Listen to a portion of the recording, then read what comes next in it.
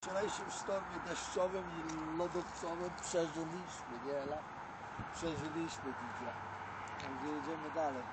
Trochę dotankować i ewentualnie kawałek sobie nogi i lecimy dalej, nie Ela? Tak?